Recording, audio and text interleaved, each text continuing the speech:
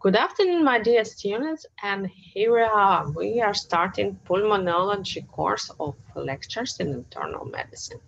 And now the first topic will be pneumonias. The respiratory system functionally can be separated into zones. Conductor zones includes nose to bronchioles, uh, which form a part of uh, for conduction of the inhaled cases, and respiratory zone from alveolar duct to alveoli, where the gas exchange takes place. Anatomically, respiratory tract is divided into upper one and the lower respiratory tract. We will talk in this lecture. Lower respiratory tract consists from trachea, bronchi, bronchioles, alveolar duct, and alveoli. Movement of inspired gas into and exhaled gas out of lung is called ventilation. Lungs are like inflatable balloon which distend actively by positive pressure inside and over negative pressure created in the pleural space. In normal respiration, negative pleural pressure is sufficient to distend the lungs during inspiratory phase. The alveolar alveoli, at the apex, are exposed to greater distending pressure compared to those at the base of the lungs. The lungs are pyramid-shaped paired organs that are connected by the trachea uh, with the right and left bronchi. Uh, on the inferior space, the lungs are bordered by the diaphragm, which is the flat dome-shaped muscle located at the base of the lung and the thoracic cavity. The lungs are enclosed by pleura, which are attached to the mediastinum. Uh, the right lung is shorter and wider than the left lung, and the left lung occupies a smaller volume than the right one. The cardiac notch is an indentation of the surface of the left lung, and it allows space for the heart. The apex of the lung is uh, the superior region, whereas the base is the opposite region near the diaphragm. The costal surface of the lung borders the ribs. The mediastinal surface faces the midline. Each lung is composed of the smaller units called lobes. Uh, fissures separate those lobes one from another. The right lung consists of the three lobes, superior, inferior, and middle one. The left consists from two lobes, superior and inferior. The bronchopulmonary segment is a division of the lobe and each lobe houses multiple bronchopulmonary segments. Pulmonary circulation differs from systemic circulation. The pulmonary vessels are thin-walled and have less muscular musculature to assist fast diffusion of gases. They are subjected to less pressure compared to systemic circulation. Because of the less pressure and structural differences of the pulmonary vasculature to assist diffusion, they are subjected to pull inside the thorax and the gravity. On the basis of the influence of the gravity, perfusion of the lung is divided into three zones. The distribution of the blood flow in these zones depend on the three factors, the alveolar pressure, the pulmonary arterial pressure, and the pulmonary venous pressure. Pneumonia is an infection of the pulmonary parenchyma and consolidation of pneumonia must be differentiated from pulmonary function. Atelectasis with bronchial obstruction and congestive heart failure includes pulmonary edema, but it may coexist with any of these conditions and with two or more of these conditions together. Pneumonia results from the proliferation of microbial pathogens at the alveolar level and the host responds to those pathogens. Microorganisms gain access to the lower respiratory tract in several ways. The most common is by aspiration from oropharynx. Small volume aspiration occurs frequently during the sleep, especially in elderly patients with neurological disorders, alcoholics, and patients with decreased level of consciousness. Many pathogens are inhaled as contaminated droplets. Rarely, pneumonia occurs via hematogenous spread from tricuspid endocarditis in patients, for example, with meningitis or in patients with, for example, sepsis or by uh, contiguous extension from an infected pleural or mediastinal space. Mechanical factors are critically important in the host defense. The hairs and turbinates of the nares capture larger inhaled particles before they reach the lower respiratory tract. The branching architecture of the tracheobronchial tree traps microbes on the airway lining, where mucociliary clearance and the local antibacterial factors either clear or kill the potential pathogen. The GAGS reflex and the cough mechanism offer critical protection from aspiration. In addition, the normal flora inherent in the mucosal cells of the oropharynx, uh, whose components are remarkably constant, uh, prevents pathogenic bacteria from binding and thereby uh, decrease the risk of pneumonia caused by these virulent bacteria. When these barriers are overcome or when microorganisms are small enough to be inhaled at, to the alveolar uh, level directly, resident alveolar macrophages are extremely efficient at clearing and killing pathogens.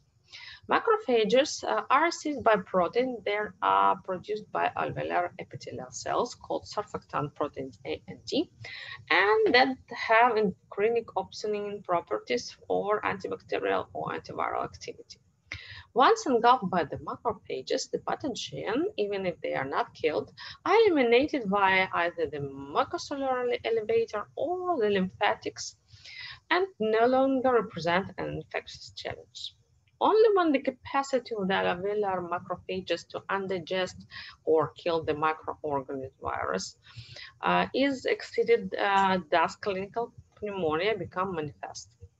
In that situation, the alveolar macrophages initiate the inflammatory response to boost a lower respiratory tract defense. The host inflammatory response, rather than proliferation of the microorganism, triggers the clinical uh, syndrome of pneumonia. Uh, different uh, pro-inflammatory cytokine release as interleukin-1, tumor necrosis factor alpha, interleukin uh, 8, and also granulocyte colony stimulating factors stimulate the release of neutrophils and their attraction to the lung, producing both peripheral leukocytosis and increased purulent secretion. Inflammatory mediators released by macrophages and the newly recruited neutrophils create an alveolar capillary leak equivalent to that seen in the acute respiratory distress syndrome. Also, in pneumonia, this leak is localized, at least initially. Uh, even the erythrocytes can cross the alveolar uh, capillary membrane with consequent uh, hemoptysis appearance. The capillary leak results in a radiographic infiltrate and rales crackles detectable on auscultation. And hypoxemia results from alveolar filling. Moreover, some bacterial pathogens appear to interfere with the hypoxemic vasoconstriction that would normally occur with the fluid-filled alveoli, and this interference can result in severe hypoxemia.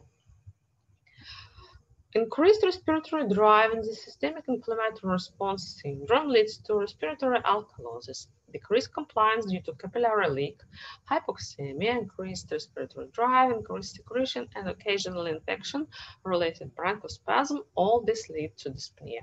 In severe enough, uh, the changes in the lung mechanism secondary to reduction in lung volume and compliance and the intrapulmonary shunting of the blood may cause respiratory failure and the patient's death. Classical pneumonia, pneumonia sorry, evolves through a series of pathological changes. So all starts from edema of the tissue, presence of the proteinaceous exudate, and often of bacteria and alveoli, clinically not distinguishable. Uh, the second stage is red hepatization. Uh, it's the presence of erythrocytes in the cellular intraalveolar exudate uh, in addition with neutrophil influx. Bacteria are occasionally seen. Uh, and in this phase, you can auscultate crepitatio indux or the crepitation of the start. In this third phase, or called also gray hepatization, non-new erythrocytes are extravasating and those already present have been lysed and degraded. The neutrophil is a predominant cell, fibrin deposition is abundant, and bacteria have disappeared. In this stage, you can auscultate crepitatio redux or crepitation of production of the pneumonia. First stage is resolution. The macrophages reappears as a dominant cell type in the alveolar space, and the debris of neutrophils, bacteria, and fibrin as present. Uh, it couldn't be applied to all pneumonia of all etiology in uh, viral uh, pneumonia or pneumocystis pneumonia. The pathophysiological uh, changes will be a little bit different as in, in viral pneumonia, it's mostly interstitial pneumonia compared with bacterial pneumonia, which uh, mostly um, involves uh, the wall of alveoli and with or with appearance of inflammatory uh, exudate. By design, pneumonia can be divided into bronchopneumonia, which involves broncho, uh, bronchial tree, small bronchioles with the alveolus around them. Lobar pneumonia when the whole lobe of the one lung or maybe uh, several lobes of two lungs are involved in the process. And interstitial pneumonia usually seen in patients with viral pneumonias where inflammation starts not from alveoli uh, but from interstitial connective tissue uh, which surrounds uh, alveoli itself and bronchi itself, uh, and then go inflammation can uh, also go to alveolar wall uh, uh, and with appearance of the uh, exudate. Bronchopneumonia affects one or more lobes, being frequently bilateral and basal, and microscopically one can identify multiple foci of congestion. They're usually small ones. White yellowish, uh, impartially circumscribed, entered by bronchioles, separated by normal lung parenchyma. Uh, on X-ray here, you can see these small areas of pneumonia. Seen in patient with bronchopneumonia, the same you can see on anatomical example. Lobar pneumonia is a radiological diagnosis and pathological term referring to homogeneous consolidation of one or more lung lobes, often with associated pleural inflammation. Here you can see association of the pleural inflammation as we can see clearly fissure between uh, two lobes like clear line ones. Here on this uh, part of the slide, you can see inflammatory changes of the alveolar wall with presence of exudate in them. So inflammatory uh, lobar pneumonia can be, as already said, uh, not one, but even um, two lungs, and can, it can be different lobes of the lung, superior or inferior, or uh, middle lobe if we talk about right lung and superior inferior if we talk about le uh, left lung. Interstitial pneumonia, pneumonia that affects interstitial tissue of the lung, typically uh, you, can see these uh, typical findings. Fibrosis of the both lungs can be seen with honeycomb change involved in the primary the low portion of the lobe. This honeycomb change is uh, clearly seen on the histological slides uh, of the pneumonia and also on CT. Uh, these uh, changes are clearly seen comparing with the X-ray, where it's hard to see interstitial pneumonia because dirty glass uh, presentation uh, called for these pneumonias uh, can see only, usually only very experienced roentgenologist, but on CT, this honeycomb changes clearly seen. Uh, for clinical presentation, if we talk, a patient should be suspected of having pneumonia if patient have uh, new focal chest signs, new focal chest signs we mean crackles, whistling, etc. Dyspnea, tachypnea, pulse rate more than 100 and fever more than 4 days. The classical physical findings in the lobar pneumonia include uh, evidence of consolidation, which alerted transmission of the breath sounds, egophony, bronchial breathing, and the whispering uh, key, uh, crackles, scattered precipitation redux and index, uh, changes in the tactile uh, fremitus, pleuritic pain, and when consolidated lungs, typical dull percussion. So what kind of general investigation should be done for patient uh, admitted to the hospital with diagnosis of pneumonia? So oxygen saturation and where necessary arterial blood gases in accordance with the latest guideline and especially in patient with uh, suspicion to COVID infection. Chest radiograph to allow accurate diagnosis. Uh, please keep in mind that pneumonia is a radiological diagnosis and each patient suspected um, having pneumonia should be administered or x-ray or CT if uh, X-ray is uh, unavailable or CT is the imagining of choice depending on clinical situation. Of course, uh, you can make clinical diagnosis of pneumonia if you do not have any opportunities to perform imagining studies and we can uh, make a diagnosis by the clinical signs, uh, or, but uh, uh in 99% of cases, uh, chest radiograph is the uh, investigation of choice for making diagnosis of pneumonia in each patient with pneumonia should receive X-ray or imaging studies CT, uh, for example, to uh, make a diagnosis. Also, for patients should be administered urea and electrolytes level to inform severity of, uh, of pneumonia, C-reactive protein to a diagnosis and as baseline measure, full blood count and liver function test as hypoalbuminemia marker of severity. On X-ray findings, a lobar pneumonia looks like homogeneous opacification in the lobar pattern that uh, can be sharply defined uh, at uh, the fissures. Also, more commonly there is segmental consolidation. The non-opacified uh, bronchus within a consolidating lobe will result in the appearance of air bronchograms. And strictly speaking, consolidation is not associated with the volume loss. However, atelectasis can occur with the small airway uh, obstruction.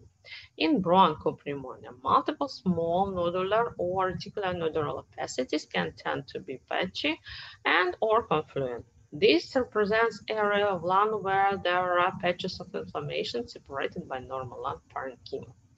The distribution is often bilateral and asymmetric and predominantly involves the lung bases. In interstitial pneumonia, usually X-ray findings, uh, uh, it's uh, ground glass opacities combined with irregular linear or reticular opacities, can be normal in uh, early stages and there may be ill-defined uh, and or ground glass opacities with lower lobe distribution or consolidation. A bilateral pulmonary infiltrate pattern may be seen in those with advanced stages. So if you will remember uh, how looked uh, uh, interstitial pneumonia on uh, CT as a honeycomb um, presentation on uh, X-ray, on plain X-ray, you can see that there is uh, no exact shadows of infiltrates comparing, for example, with lower one and uh, just small changes in the lower part of the lungs, which can be suspected as patient having pneumonia, but there is no clear infiltrates. So comparing on CT uh, picture, the X-ray picture not so definitive. Sorry. Here is the uh, other two X-rays of the pneumonia. Here, upper uh, lobe pneumonia, and there's the inferior lobe pneumonia infiltration seen. So when should the chest radiograph be performed at the hospital? All patients admitted to the hospital with suspected uh, pneumonia diagnosis should have a chest radiograph performed as soon as possible to confirm or refute the diagnosis. The objective of any service should be the chest radiograph to be performed in time for antibiotics to be administered within four to six hours uh, of presentation to hospital uh, should the diagnosis of uh, pneumonia confirmed. The chest radiograph uh, need to be repeated prior to hospital discharge and those who have made a satisfactory clinical recovery from pneumonia uh, not need to and should be arranged after about six weeks for those patients who have persistence of symptoms or physical signs or who are at high risk of underlying malignancy, whether or not they have been admitted to the hospital. Chest radiograph can be repeated if a patient uh, will not show the signs of improvement and you suspect that your diagnosis or your treatment wasn't uh, successful and especially if patients show you signs of deterioration of his health state uh, chest radiograph can be repeated or can be changed to CT for better imaging if it's needed. On CT findings, lobar pneumonia looks like uh, have pattern of the focal ground glass opacity in a lobar or segmental pattern. This is due to incomplete filling of alveoli by uh, in, uh, inflammatory exudate and consolidation. At other times, there can be dense opacification of the entire lobe depending on severity of pneumonia. Broken pneumonia on CTE looks like multiple foci of opacity that can be seen in lobular patterns centered uh, at centrilobular bronchioles. This may result in a tree-in-bud appearance. These foci of consolidation can overlap to create a larger heterogeneous confluent area of consolidation or patchwork kilt appearance. Interstitial pneumonia looks like Ground glass opacities combined with the regular linear or reticular opacities, opacities, sometimes uh, in the minor subpleural reticulation, thickening of bronchiovascular bundles uh, with fibrosis. Etiology of pneumonia usually cannot be determined solely on the basis of the clinical presentation and except if a patient with pneumonia admitted to uh, intensive care unit. No data exists to show that treatment directed at the specific pathogen is statistically superior to empirical therapy.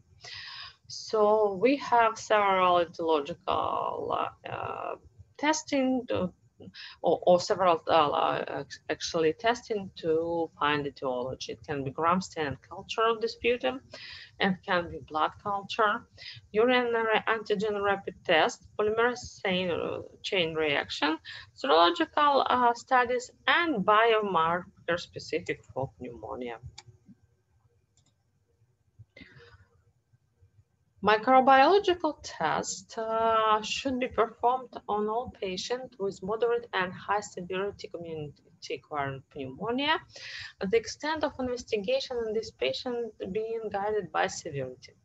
For patients with low severity community-acquired pneumonia, the extent of microbiological investigation should be guided by clinical factors, including comorbidity, age, severity indicators, and prior antibiotic therapy. Uh, when there is a clear microbiological evidence of specific pathogen, empirical antibiotics should be changed to the appropriate pathogen focus or agent unless there are legitimate concerns about dual pathogen infection.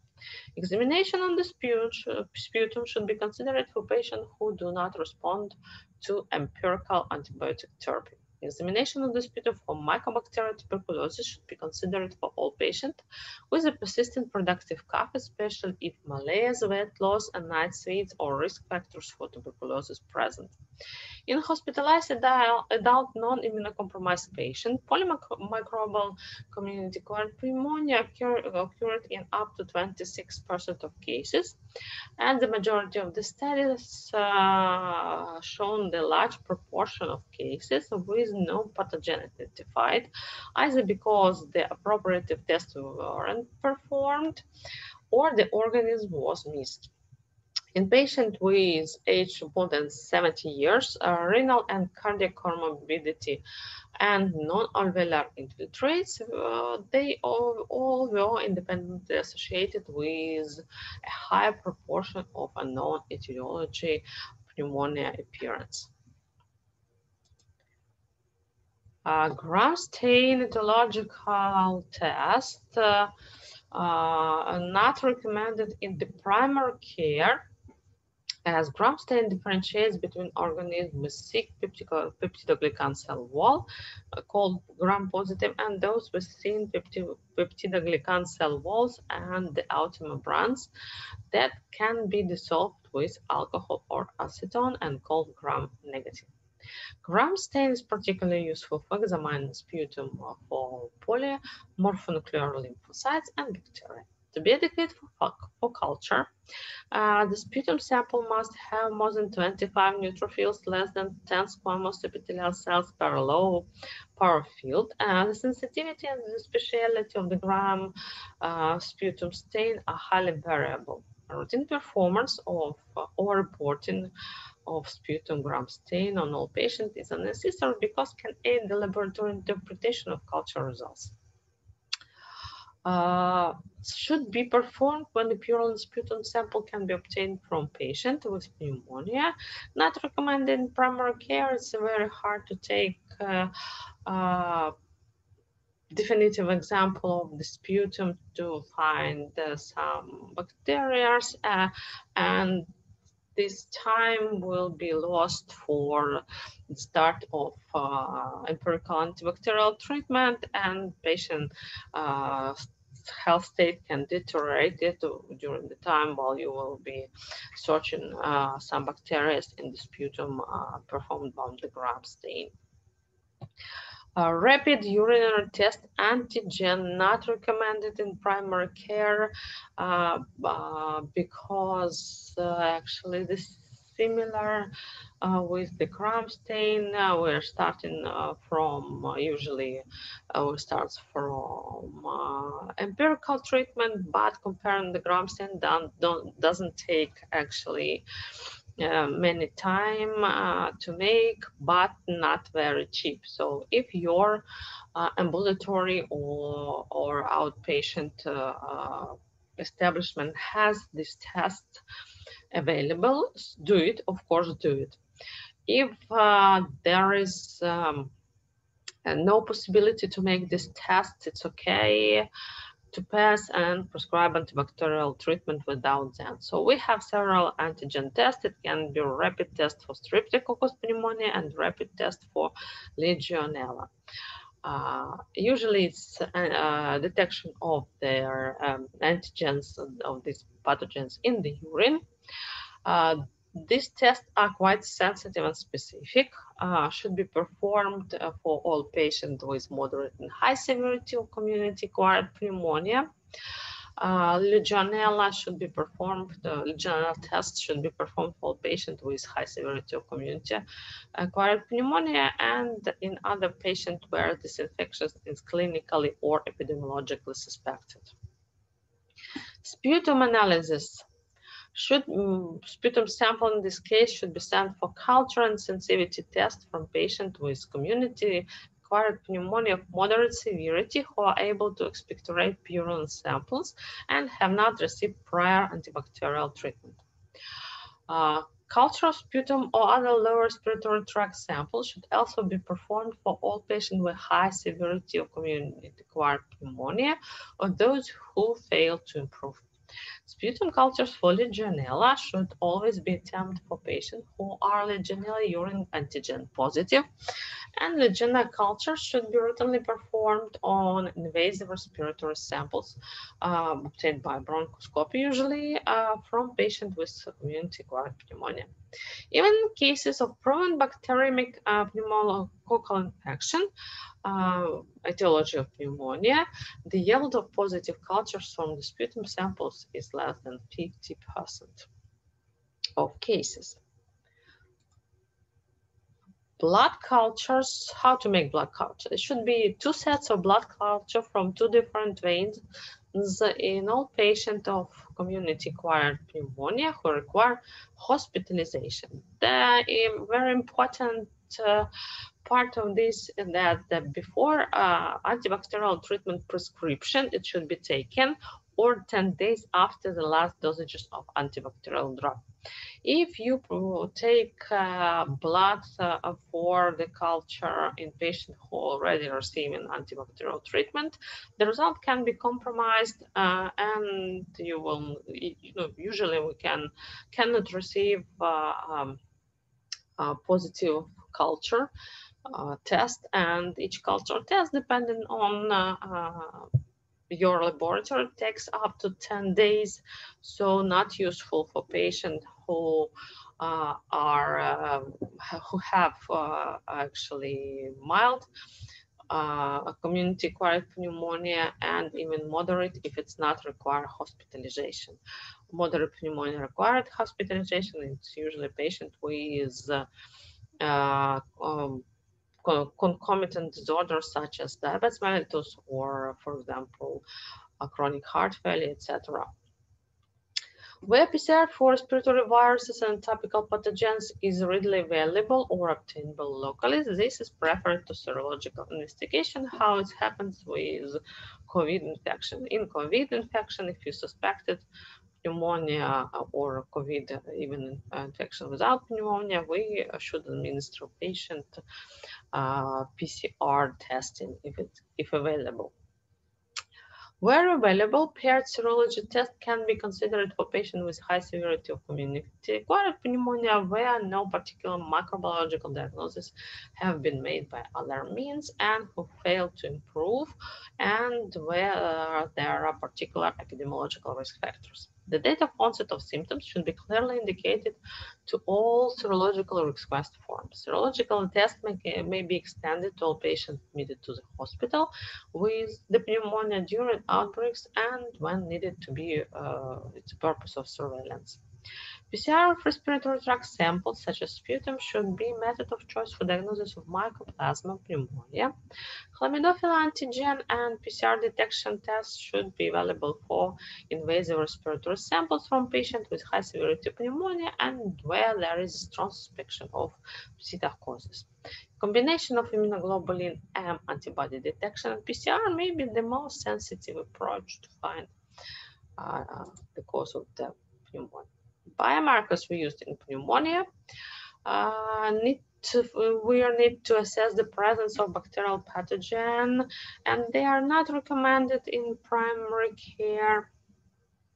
Uh, uh, uh actually, uh, not recommended primary care procalcitonin, but white blood cell count uh, as a part of the CBC and C-reactive protein nowadays are recommended even in primary care. So biomarkers are white blood cell count, very high, more than 20, or very low, uh, less than 4, which is the sign of severe infection, severe sorry, pneumonia. C-reactive protein and procalcitonin. Procalcitonin, it's a protein that consists of many amino acids and is a precursor of, of calcitonin, which is a hormone that's synthesized by parafollicular C cells of the thyroid and involved in calcium homeostasis. Procalcitonin is also produced by neuroendocrine cells of the lung and intestine and released as an acute phase reactant in response to the inflammatory stimuli, especially to those of bacterial origin. This raised procalcitonin level during inflammation associated with the bacterial endotoxin and inflammatory cytokines. Procalcitonin released as an acute phase reactant does not result in increased serum calcitonin levels. Persistent or recurrent procalcitonin elevation in the latter setting after the treatment of bacterial infection should prompt suspicion of secondary infection. Procalcitonin level greater than 0.5 nanogram in liter support bacterial infection where rapidly uh, low amounts suggest that bacterial infection is unlikely. Level of procalcitonin increases when the cell within the 6 to 12 hours after onset of bacterial infection and halves daily when infection is controlled. Procalcitonin levels may also be elevated by uh, in patient in case of the patient with medullary carcinoma, carcinoma, small cell lung carcinoma, paralytic vascular ilex exhibiting paraneoplastic production, and the renal failure should not be prescribed for patient with uh, non-severe pneumonia but for patients with especially severe pneumonia and sepsis, if a physician need to, prove that patient has bacterial infection, severe bacterial infection, procalcitonin should be prescribed. Uh, here you see uh, the level of procalcitonin uh, and the, uh, likely and unlikely bacterial infection diagnosis can be uh, made. So the high level of procalcitonin is the high bacterial infection or sepsis uh, diagnosis highly likely. C-reactive protein, the most common laboratory marker used in the clinical settings to evaluate systemic inflammatory response to a bacterial in infectious agent. Uh, the recommendation, latest recommendation, is to prescribe the C-reactive protein levels for all patients with pneumonias on the first and the third day uh, to see the actually uh, pneumonia course, how it goes. In ambulatory um, management of pneumonia, if you do not have ability to uh, make it and patient has mild pneumonia, non-severe pneumonia, it can be skipped. This part can be skipped. CRP, uh, the most common uh, marker, yes, and it's an annular pan, uh, pentameric protein found in the blood plasma. Those levels rise in response to inflammation. It's an acute phase protein of hepatic origin that increases following interleukin 6 secretion by macrophages and T cells. Its physiological role is to bind the lysophosphatidylcholine expressed on the surface of the dead or dying cells and sometimes the bacteria in order to activate the complement system via C1q complex. Synthesized by the liver in response to factors released by macrophages and fat cells, binds to the phosphocholine expresses on the surface of the cell and activates complement system, promoting phagocytosis by macrophages, which clears necrotic and apoptotic cells and bacteria. In patients with suspected pneumonia, test for serum level of C-reactive protein can be can be done and should be done in case of severe uh, pneumonia and moderate uh, levels of this protein less than 20 milligrams per liter on presentation with symptoms more than 24 hours make the presence of pneumonia highly unlikely. Level more than 100 milligrams per liter makes pneumonia likely. Uh, you should remember that uh, uh, C-reactive protein uh, as acute phase reactant can uh, increase in, not only in bug bacteriological infection, but also, for example, in patients with other inflammatory disorders, such as including chronic uh, heart failure, renal failure, myocardial infarction, uh, stroke, and etc. So, the, uh, if we want to prove that patient has bact uh, bacterial infection, uh, the presence of high concentration of CRP is not enough. So the level should be, as you can see on the slide, more than 100 milligram per liter. If uh, the, after three days of your treatment, uh, the level of C-reactive protein is rising, means that your treatment not so successful as it you can imagine, and patient should, for patient should be prescribed uh, procalcitonin independent on severity, of course, of the patient, or you should revise your treatment also, as because uh, elevation of C protein, it's clear marker that bacterial infection uh, spreads and become more serious than at the start. What kind of other invasive techniques we can use for diagnosis of pneumonia? There are thoracocentesis, which should be performed in hospitalized patient when a significant pleural effusion is present uh, transthoracic needle aspiration because of the inherent potential adverse events can be considered only on individual basis for some severely ill patients with a focal infiltrate and whom less invasive measures have been non-diagnostic and bronchoscopic protected specimen brush and bronchoalveolar lavage and quantitative endotracheal aspirate should be preferred technique in non-resolving pneumonia. Bronchoscopic sapling in lower respiratory tract can be considered in intubated patient and selected non-intubated patient where gas exchange status allows. This technique also give a physician possibility to inject uh, the antibacterial treatment exactly in the bronchoalveolar tree if it's needed in severe pneumonias.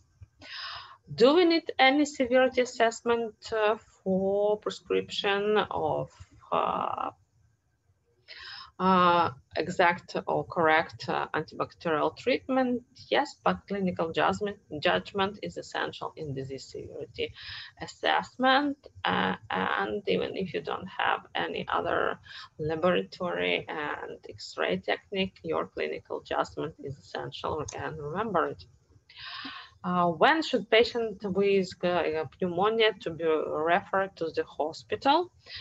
If it's severely ill patient with suspected pneumonia, uh, especially if uh, patient has tachypnea, tachycardia, hypotension, and confusion problems, which is the sign of severe pneumonia.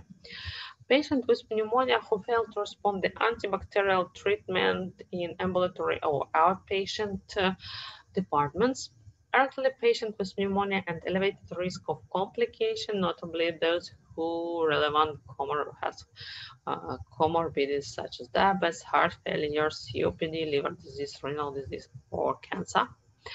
Patient with suspected uh, pulmonary embolism and suspected of malignant disease of the lungs.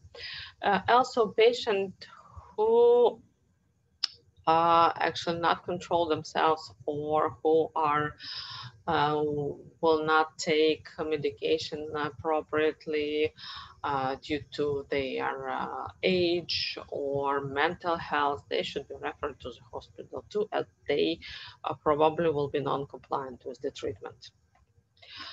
Uh, severe clinic, uh, clinically severe uh, diagnosis of severe pneumonia can be made uh, by clinical judgment, and this clinical judgment should include the presence of at least two signs. Uh, and the, the signs are systolic blood pressure less than 90 uh, millimeters, respiratory failure means that partial pressure of oxygen less than 95%, involvement of two lobes on the chest X-ray or any other multi-lobar involvement. Uh, one for if a patient with pneumonia requires the mechanical ventilation to improve the respiration. If a patient with pneumonia require the vasopressor more than four hours to maintain the blood pressure. So if you patient, if your patient has uh, two of the signs we already listed, it's clinically can be uh, make make diagnosis of severe pneumonia. Also, we have several tools to help us to assess the severity of pneumonia, and they should be used uh, in routine practice, non-dependent, either it's outpatient or inpatient uh, department. So the easiest one is CURB and CRB scales Uh, they are excellent indicator of mortality. Uh, it's easy to calculate. So if uh, you have uh, outpatient hospital with uh, inability to make urea, you can use CRB scale. If you work in the hospital or outpatient department where the urea uh, levels absolutely you can uh, administer for a patient and to check it, use please use CRB score. Uh, these both scores are easy to calculate and they consist from uh, five ma major signs. So it's a confusion defined as a mental test uh, score or, or, eight or uh, less. Uh, presence of urea more than 7 in millimole by liter, respiratory rate more than 30, in minute, blood pressure systolic less than 90, diastolic less than 60, uh, or, or you just remind that it's or not blood systolic plus diastolic, but or or low systolic blood pressure or low diastolic ones, and age more than 65 years. All the signs is a sign of severe pneumonia. Uh, each sign uh, receives one point if it's present, and the total score can be from it, by calculating the total score we can divide the pneumonia by three major types. So uh, the mild pneumonia with the score 0 to 1 uh, can be tre treated. Patient with such pneumonia can be treated at home. Patient with the moderate pneumonia or score of 2 should be uh, treated in the hospital but not in ICU units.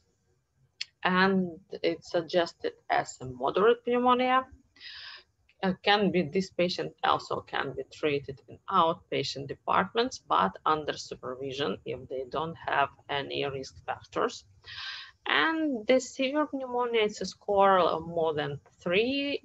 This patient, uh, in a, if patient receives such score, they consider it as severe pneumonia patients and they should be treated in hospital and uh, the, with a score four or more in ICU departments. Another score we use is pneumonia severity index. It's a little bit more difficult score because it takes um, more points to calculate and to actually more laboratory findings uh, from arterial pH to glucose levels.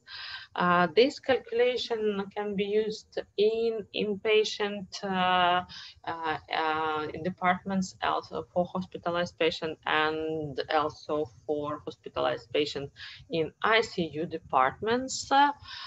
comparing with CURB, this scale is sensitive and specific as as your B scores. So in usually in routine outpatient practice, we use CRB.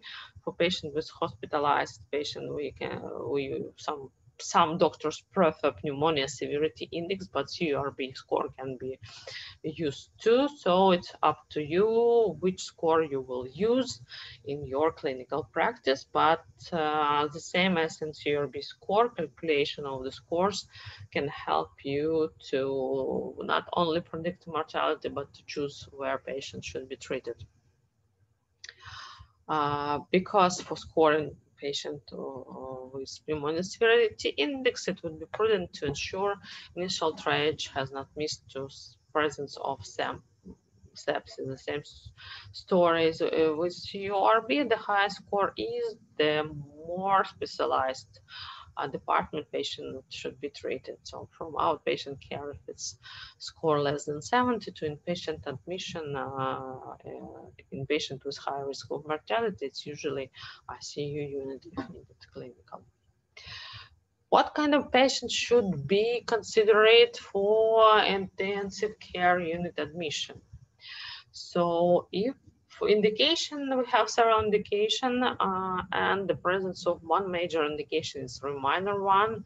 In this presence, patient should be administered in ICU. So major criteria, They are hypotension requiring vasopressors, respiratory compromise requiring mechanical ventilation. Minor criteria is respiratory rate more than 30 breaths in minutes, uh, low partial oxygen pressure, multilobar infiltrate, confusion and deterioration, blood urea nitrogen more than 20 milligrams by deciliter, white blood cells low count less than 4 or less than 4 uh, thousand cells in millimeter squared, uh, thrombocytopenia, uh, hypothermia, and hypotension requiring aggressive fluid resuscitation.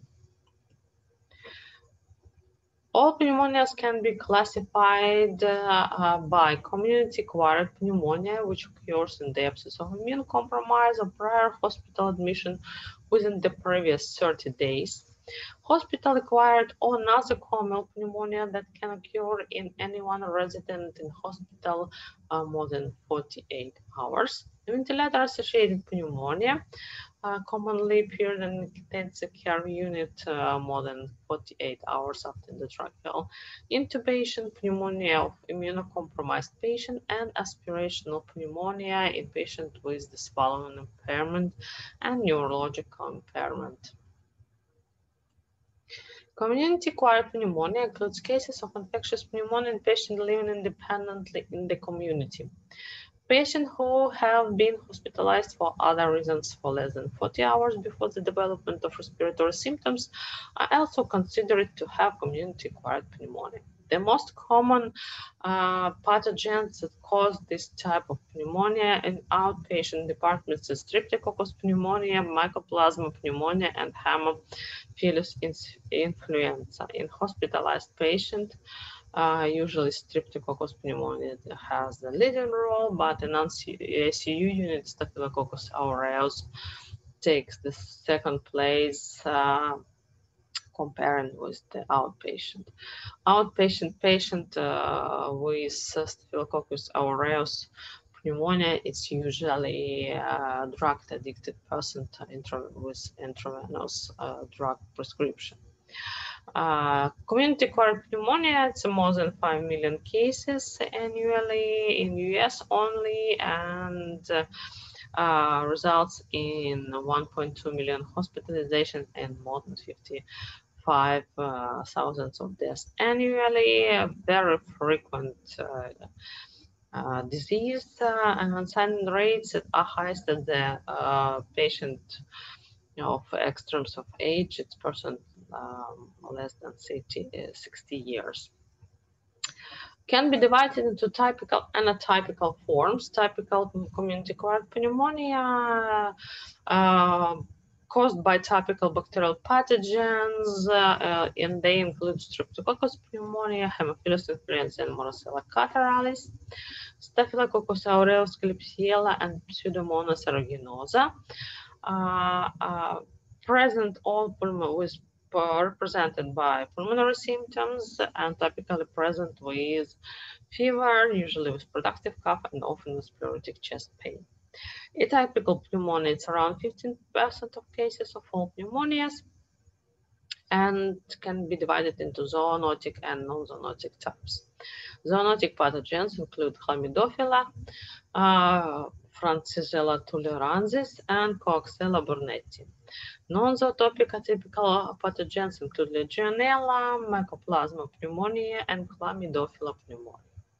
This type of uh, pneumonia represented by a variety of pulmonary and extrapulmonary uh, findings, uh, such as Legionella, for example, can be diarrhea, it can be a rash, uh, it can be abdominal uh, pain, etc., which is usually not presented in patients with pneumonia classical type. Uh, often it's subacute process, and uh, pneumonia due to atypical pathogen has one or more extrapulmonary features, which is the, actually the key uh, or clue of the etiology.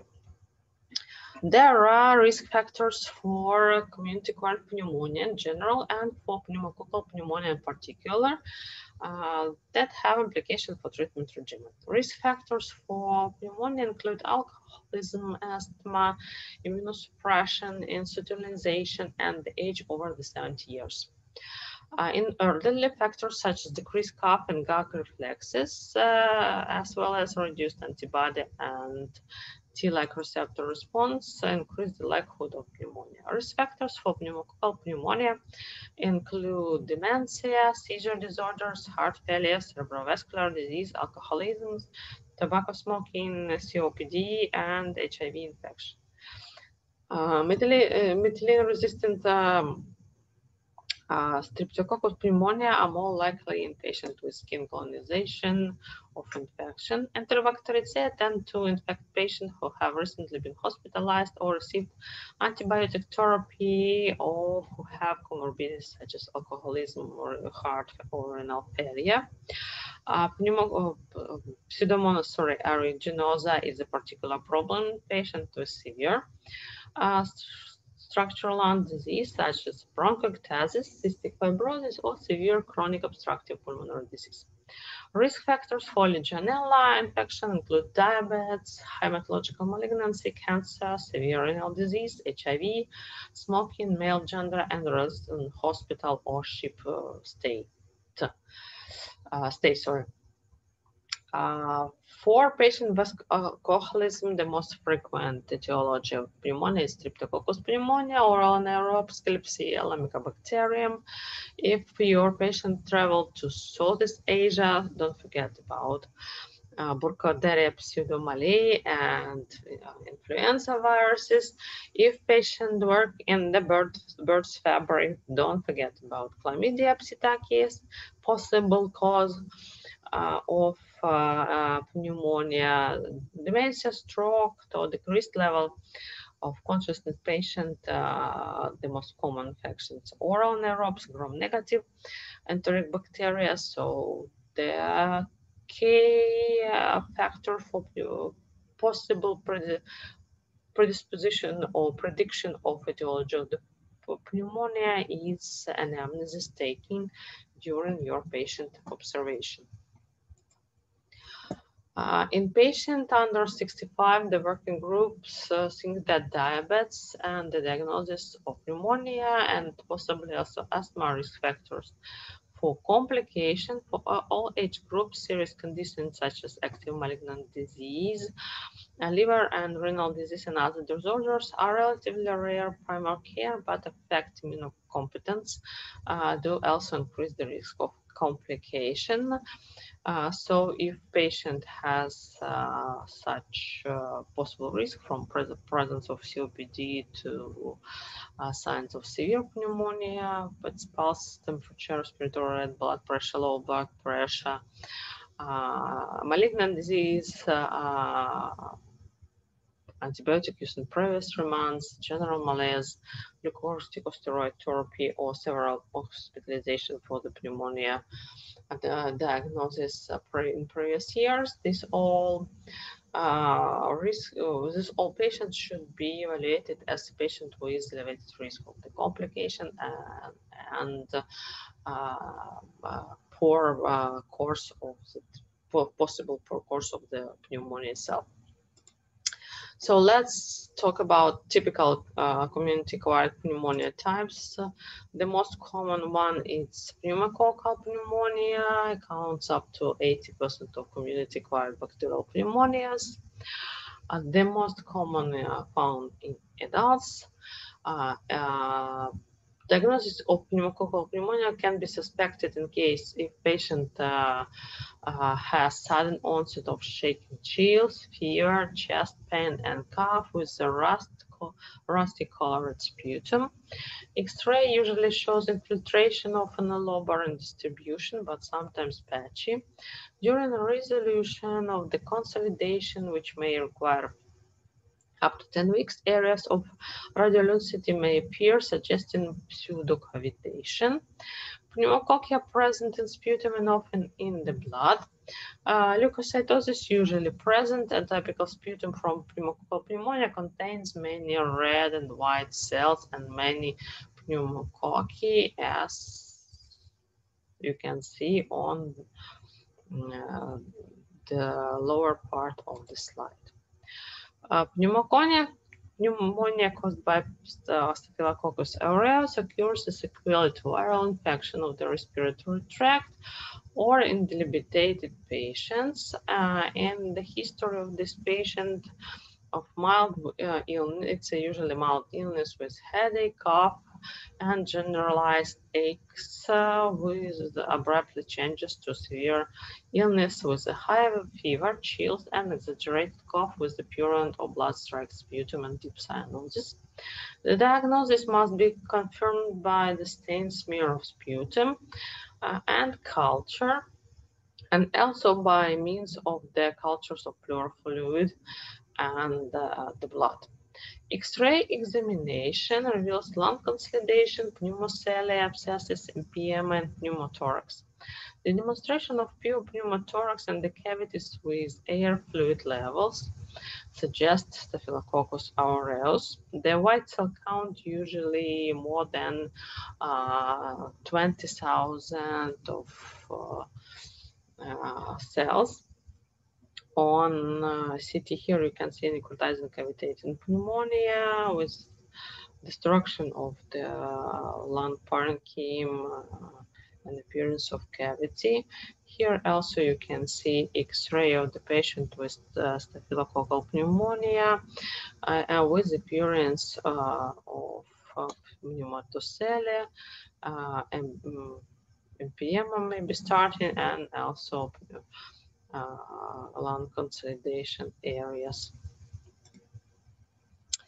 Methicillin-resistant uh, staphylococcal uh, pneumonia diagnosis should be based on the clinical presence of fever more than 38 uh, degrees of Celsius, cyanosis, tachycardia, hemoptysis, hypotension, and the rapid cavitation of infiltrates on the chest radiographs uh, presence of bacteria in the respiratory secretion, and uh, usually this type of pneumonia appears in the patient with risk factors such as cardiopulmonary disease, alcoholism, or diabetes, or patient who previously uh, were treated uh, due to several reasons, uh, many uh, many many times with antibacterial drugs. Consolidation for treatment of this pneumonia, the drug of choice is linezolid or vancomycin as these uh, types of uh, staphylococcus are not uh, actually um, sensitive to usual uh, antibacterial treatment. Atypical pneumonia, there are several times. The most common is Legionella pneumonia. Uh, this eponym Legionella disease have been given to serious pneumonia that affected people attending the American Legion Convention in Philadelphia in 1976.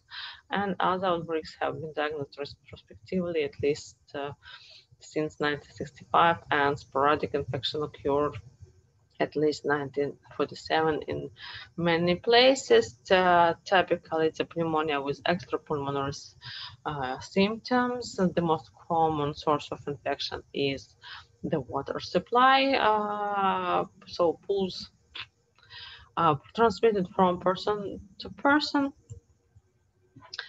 And uh, gel species in, occurs in the environment and acquired by humans from aerosols, uh, dust for, for, from air conditioning systems, water, soil. Incubating period, is estimated to be two to 10 days. Initial symptoms are malaise, diffuse myalgias, headache, followed by uh, up to 48 hours by high non-remittent fever and chills. Nausea, vomiting, diarrhea frequent. On the third day, dry cough begins, so uh, that is non-productive or produces scantily mucoid, sometimes blood-streaked sputum. Dyspnea and hypoxia become marked as a sign of consolidation developed. Uh, pleuritic pain uh, also present and occurs in one third of patient and uh, severe confusion or delirium may occur. As you can see on this picture, the Legionella is poorly Gram-stained negative bacterium that grows slowly on the specific media. And for diagnosing of the, this pneumonia, well, uh, we have rapid urine test for the Legionella antigens. On the chest X-ray looks like patchy, often multilobar pulmonary consolidation and occasional small pleural effusion on all anatomical um, uh, slide presented here. Mycoplasma pneumonia. It's the second, the most frequent atypical form of uh, community-acquired pneumonia, mycoplasma, it's common cause. And disease uh, usually has prolonged and gradual onset.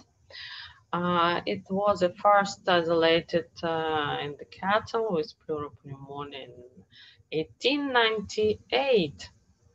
PCR of respiratory tract samples such as sputum should be the method of choice for the diagnosis of this pneumonia and the patient's uh, history may include fever, general low grade, malaise, headache, persistent slowly worsening, incensed cough, scratchy sore throat, wheezing, mild pharyngeal injection with the minimal or non-cervical adenopathy but no exudate, normal findings with early infection but care rales and the whistle several days later, uh, treatment of choice is tetracycline and erythromycin compounds, uh, which are very effective. Viral cause uh, up to 50% of pathogen diagnosed community-acquired pneumonia. 27 of cases are mixed bacteria virus immunofluorescent uh, assay and enzyme-linked immunosorbent assay are useful for the diagnosis, especially the most common viruses encountered as influenza, respiratory syncytial virus, adenovirus, and para-influenza virus. PCR is highly sensitive and specific technique for amplifying genes to detect the presence of the virus. Viral cultures used for isolation the identification of the pathogen, but mm, takes more time and not so effective compared with PCR or ELISA. A respiratory viruses via the airway, they multiply an epithelium of upper uh, airway, secondly infect the lung by means of the airway secretion and hematogenous spread. Respiratory virus damage the respiratory tract and stimulate the host to release multiple humoral factors as histamine, leukotriene, virus-specific immunoglobulin, interleukin, inflammatory interleukins 1, 6, and 8. And uh, they can alter bacterial colonization patterns. They increase bacterial adherence to respiratory epithelium, reduce mucociliary clearance, and alter bacterial phagocytosis by host cells. Also, uh, releasing of uh, pro-inflammatory cytokines in case of the respiratory virus, especially, uh, can cause cytokine storm, which can uh, deteriorate the patient's uh, state and uh, leads to respiratory distress syndrome or similar clinical, uh, similar clinical presentation with respiratory failure. Viral pneumonia on the chest X-ray looks like bilateral lung involvement. Uh, in case of influenza, it's perihilar and peribronchial infiltrates. In case of respiratory virus, it's uh, rather patchy bilateral alveolar infiltrates and interstitial changes. Adenovirus pneumonia looks like bilateral and patchy ground glass infiltrates with the preference uh, uh, for lower lobes. Treatment usually is antiviral drugs and secondary antibacterial treatment as viruses influence the bacterial uh, flora appears uh, and in the patient with uh, initially viral pneumonia. So patient at first should be observed for bacterial uh, uh, etiology, secondary to viral ones, and uh, should be prescribed antibacterial treatment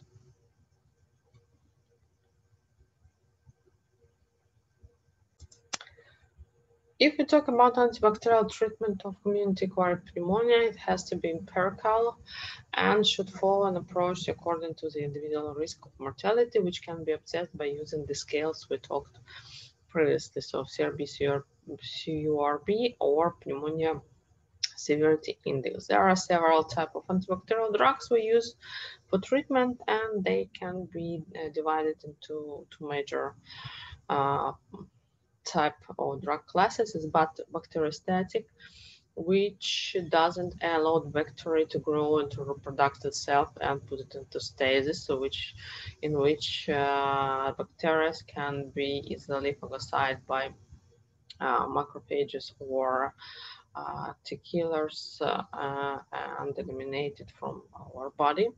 All bactericidal, they have um, ability to destruct the bacterial wall and to kill bacteria uh, and help our uh, organism to phagocyte the parts of bacteria.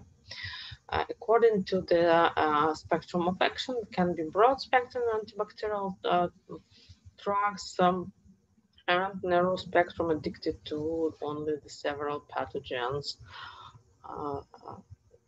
There are different classes of antibacterial drugs from beta-lactams to lipopeptide. They differ in their uh, structure and um, in mode of action. Some of beta-lactams inhibit bacterial cell wall biosynthesis, other ones as macrolides, which were uh, described um, later than the beta-lactams they can have ability to inhibit protein synthesis by bacteria and occasionally lead to the cell death. And the later one of the latest one, like lipopeptides, they can, for example, uh, disrupt the uh, multiple cell membrane function, leading to the um, bacterial cell death also.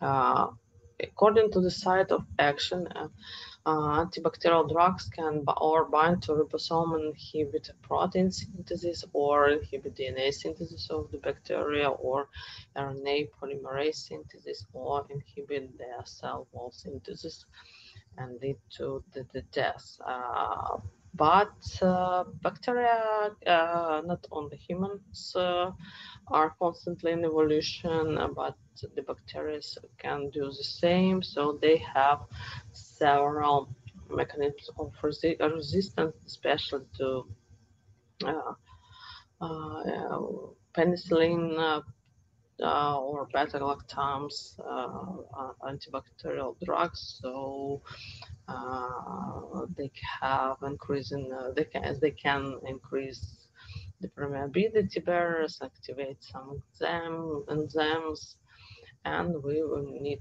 to prescribe uh, uh, antibacterial drugs that have ability uh, to conquer these bacteria despite their um, mechanisms of resistance. What kind of guides we have for uh, empirical initial microbial treatment? Um, and there are three major considerations and overall 10 criteria. So patient uh, age 65 years are subdivided into those with moderate good ability and uh, uh, those who are severely disabled. The assessment of general prognosis should be performed and patient with pneumonia, expected terminal event of severe comorbidity should be managed along principles of palliative medicine.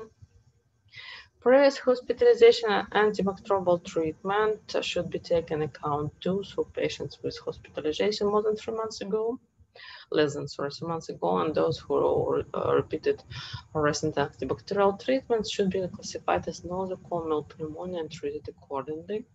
Risk factors for severe immune suppression, this patient should be managed as an immunocompromised patient uh, assessment of the factor determines selection of the antibacterial treatment.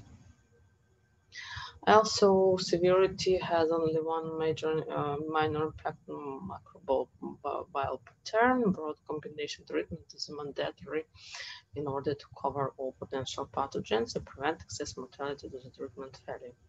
Comorbidity is a sign of possible severe course of the bacteria, so uh, usually uh, different comorbidities in patients with different comorbidities, we expect to some uh, potential underlying pathogens and uh, antibacterial treatment can be prescribed based on these uh, evidences. Um, patients who live in nursing home, uh, they have uh, such their specific microbial patterns and such risk should be assessed individually aspiration may be witnessed or suspected, so patient uh, should be treated as aspirational pneumonia, not as community acquired. Uh, also exist regional and local patterns of microbial prevalence and resistance. So in one area, we prescribe doxycycline for as drug of choice for uh, pneumonia treatment, community acquired pneumonia. In other areas, we will prescribe maybe uh, macrolides, uh, because doxycycline is not uh, actually working due to um, microbial resistance. Maybe some drugs was, were prescribed previously in a high range of cases, and that's why microbes have well, their, their resistance and tolerability and toxicity of antimicrobial uh, agents uh, individually for patients should be taken into account uh, when you are cho choosing your empirical treatment for the patient. All patients should receive antibiotics as soon as diagnosis of community-acquired pneumonia confirmed by the chest radiography. If don't have ability to confirm by the chest radiography, so make diagnosis uh, can be made um, clinically, but it's preferable to prove your clinical uh, source by the radiography. In patient with uh, community-acquired pneumonia and septic shock, Delay must not be uh, more than one hour after diagnosis and uh, drugs should be prescribed as fast as is possible. The objective for any service shouldn't be uh, to confirm a diagnosis of pneumonia with a chest radiography, initiate antibiotic therapy for the majority of the patient with community-acquired pneumonia up to six hours of presentation to hospital.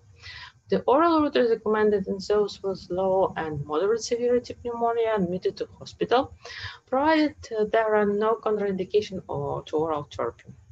Patient treated initially with parenteral antibiotics should be transferred to an oral regimen as soon as clinical improvement occurs and the temperature has been normal for 24 hours, proving there is no contraindication to the oral route.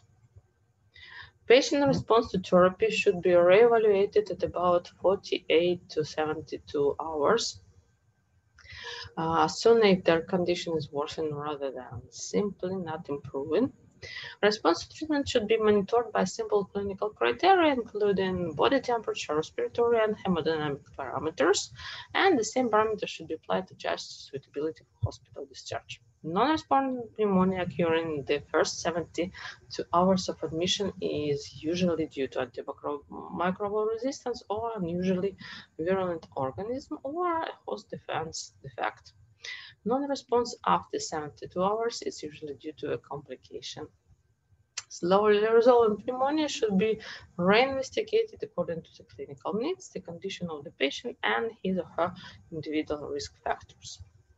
Treatment option for ambulatory patient with community-acquired pneumonia, as you remember, it's mild or moderate uh, patient. So recommendation of uh, last years uh, suggest that the healthy outpatient adults without comorbidities listed as a risk factors. For them, recommended uh, to start treatment of community-acquired pneumonia with amoxicillin 1 gram three days, three times daily or doxycycline monotherapy 100 milligrams twice daily or macrolides. Uh, it can be azithromycin uh, or clarithromycin, uh, only in areas where the pneumococcal resistance to macrolides uh, not present. Outpatient adults with comorbidities such as chronic uh, heart failure, lung or liver failure, or renal disease, uh, chronic diabetes mellitus, alcoholism, malignancy, or asthenia. Or it's recommended combination to start treatment with community acquired pneumonia with combined therapy of amoxicillin clavulanate or um, uh, amoxicillin uh, can be two ranges of do dosages of 500 milligrams or uh, um, uh, 100 milligrams uh, or 200, uh, 2000 sorry, milligrams, uh, or it can be cephalosporin uh, in combination with macrolide, or it can be a monotherapy with respiratory fluoroquinolone. So usually we're starting from combination therapy. If uh, after 32 hours is not working, we can change it to monotherapy. Or if patient previously was treated by amoxicillin or cephalosporin, so it's macrolide not dependent on the cost of this or what kind of uh, indication for this treatment uh, less than uh, if this treatment appears less than three months uh, before this hospitalization or this uh, patient observation, uh, we can start from monotherapy with respiratory fluoroquinolone if needed. Patient should be advised to return if the symptoms take uh, longer than three weeks to disappear after the treatment we finished. A clinical effect of antibiotic treatment should be expected within three days, and patients should be instructed to contact their doctor if this effect is not noticeable. If uh, a patient is in hospital, no contact needed, you will contact yourself. Seriously ill patient, meaning those with suspected pneumonia and elderly patient with relevant comorbidity, should be followed up uh, two days after the first visit. Chest radiographic abnormalities are the slowest to resolve, and uh, patient can have uh, pneumonia signs on X-ray infiltration signs or on X-rays up to 12 weeks with the speed of clearance dependent on the patient age and underlying lung disease. That's why a patient with mild to moderate pneumonia and no X-ray need to be repeated if a patient shows signs of clinical improvement and there is no uh, serious comorbidities which can uh, deteriorate the health state to complication.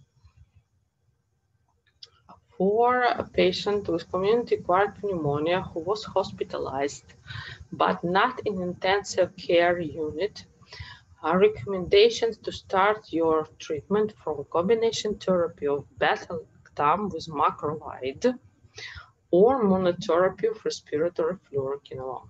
The third option for these adults who have contraindication to macrolides or fluoroquinolones is combination therapy of beta-lactam with doxycycline how patients should be monitored in the hospital. So temperature, respiratory rate, pulse, blood pressure, mental status, oxygen saturation, and inspired oxygen concentration should be monitored and recorded initially at least twice daily and more frequently in those with severe pneumonia or requiring regular oxygen therapy. C-reactive protein should be remeasured and the chest radiograph repeated in patients who are not progressing satisfactorily after three days of treatment. Patients should be uh, reviewed within 24 hours of planned discharge home, and those suitable for discharge should not have more than one of the following characteristics present. They are uh, uh, temperature more than 37.8, heart rate more than 100 a minute, respiratory rate more than 24 a minute, systolic blood pressure less than 90 millimeters, oxygen saturation less than 90 percent, inability to eat without assistance, and abnormal mental status. Clinical review should be arranged for all patients in around six weeks, either with their general practitioner or in hospital clinic as it's possible. For patients who fail to improve as expected, Uh, there should be careful review by an experienced clinician of the cl clinical history, examination, prescription chart, and the results of available investigation results. Further investigation including a repeat chest radiographic, uh, C-reactive protein and white cell count, and further specimens for microbiological testing should be considered in the light of any new information after the clinical review. Sorry. Referral to a respiratory physician should be considered. Change initial antibacterial therapy in case, if needed, should be made.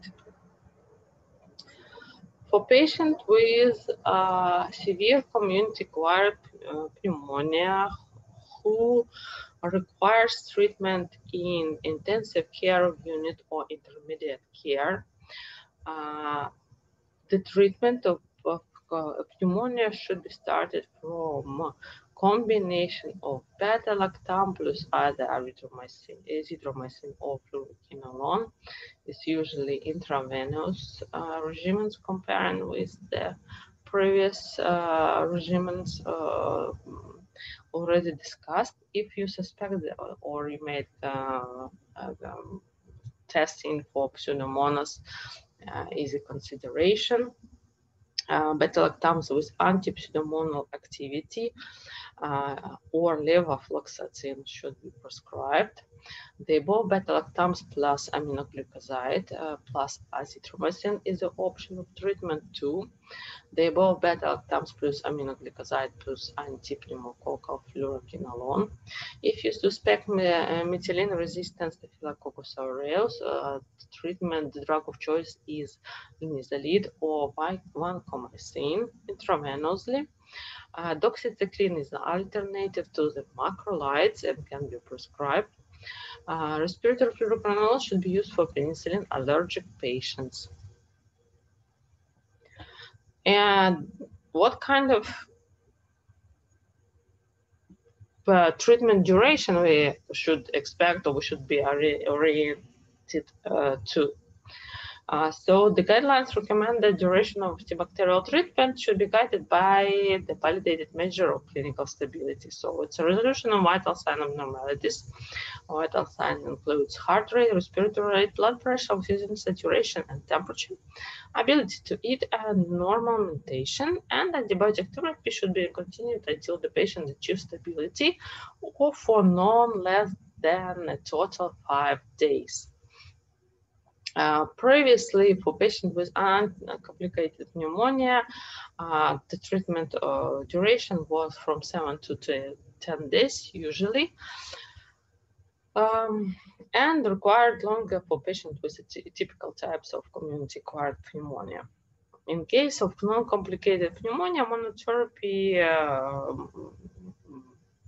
small courses of azithromycin or fluoroquinolones uh, can be enough for pharmacodynamics due to pharmacodynamics of uh, medication. in patient with ICU unit usually uh, antibacterial treatment becomes longer enough to 14 to 21 days due to severity of pneumonia and slower improvement of the patient as uh, symptoms uh, should be a, a, patient with community-acquired pneumonia, especially in patient setting treated with corticosteroid. Uh, usually, uh, this treatment, good treatment with corticosteroids, not routinely recommended, especially for patients with non-severe cough. Uh,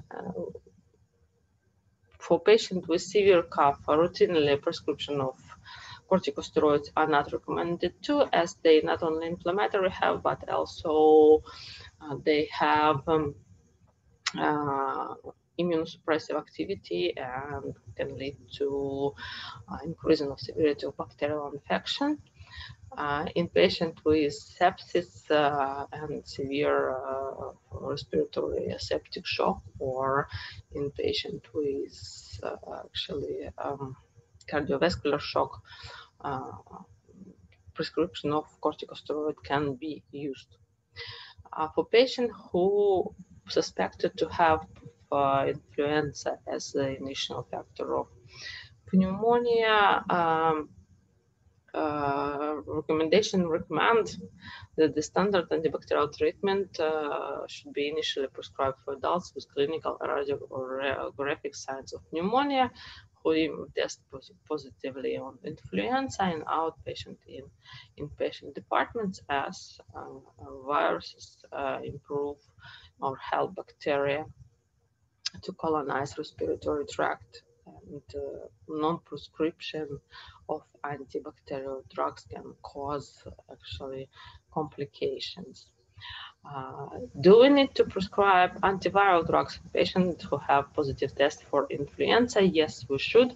So it's usual anti-influenza treatment such as Oseltamivir, uh, for example, uh, sh that should be prescribed for a patient uh, who, who, was testing positive to influenza, uh, independent of duration or uh, of illness before a diagnosis. Aspirational pneumonia uh, is the other type of pneumonia defined as an entry of foreign substances, solid uh, uh, or liquid, uh, into the respiratory tract or inhalation of fumes and vapors all this we called aspiration. Aspiration of pneumonia is an infectious process caused by aspirated oropharyngeal flora. The clinical history is important in diagnosing of aspirational pneumonia, the nature of aspirate material, the quantity of aspirate material, um, the time of course of the event influence the size and distribution of the lung parenchymal abnormality. And the most common predisposing factor for aspiration in adults are alcoholism, stroke, or other neuromuscular disorders, seizures, and loss of the consciousness. Uh, this type of pneumonia should be considered in patients with difficulties of swallowing who show signs of acute lower respiratory tract infection. In this patient, chest x-rays should be performed. Uh, causing factors include impairment of the swallowing mechanism, inadequate cough reflex in patient, especially anesthesia of postoperative state, and impaired uh, gastric emptying, for example, in pyloric obstruction. When should be aspirational pneumonia suspected in those with community-acquired pneumonia, with either follows an episode of witness aspiration or occurs the presence of risk in presence of the risk of aspiration. Traditionally, uh, posterior and lateral chest radiographs have been recommended for imagining aspirational pneumonia and in its complication. CT scanning is the best method for diagnosing aspirational pneumonia and abscess or empyema. CT scanning precisely delineates the location of the lobar or segmental opacity. A foreign body in the tracheobronchial tree and associated atelectasis or consolidation can be defined with relative ease with CT scans. MRI is more sensitive than planar radiography, but less than CT. And patient swollen mechanism can be studied by using a fluoroscopy with a contrast agent in real life. Radionuclide salivagram can demonstrate the aspiration of the saliva and can document salivary aspiration as a source of recurrent pneumonia. For uh, aspirational pneumonia, an empirical antibiotic therapy should be initiated rapidly once the diagnosis of pneumonia is made. The regimen can be modified later after culture. Information from the sputum, tracheal secretion, or bronchoscopic sampling, uh, if available, our recommendation, so in patient uh, in hospital ward admitted from home, the drug of choice is uh, oral or intravenous regimens of beta-lactam uh, with or clindamycin or cephalosporin in combination with metronidazole or moxifloxacin. In patient who was administered in ICU unit or, or administered from nursing home, uh, combination therapy of clindamycin and cephalosporin or cephalosporin with metronidazole is a drug choice for treatment of such patients.